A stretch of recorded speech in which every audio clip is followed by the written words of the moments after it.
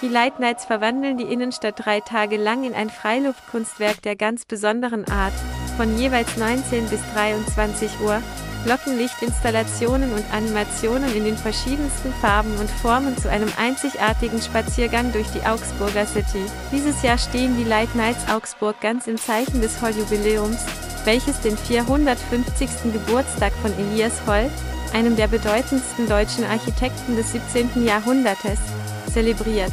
Augsburgs charakteristisches Stadtbild wurde maßgeblich von seinen architektonischen Werken beeinflusst. Wichtige Bauwerke wie das Rathaus, der Perlachturm, der neue Bau und die ehemalige Lateinschule des Saar-Anna-Gymnasiums werden bei den Light Nights daher besonders in den Fokus gerückt und erleuchtet.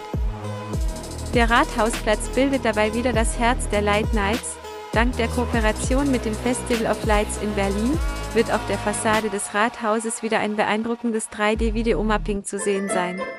Auch am Königsbau und im Annahof sind Videomappings beide von Kaiser Schuhtechnik zu bewundern.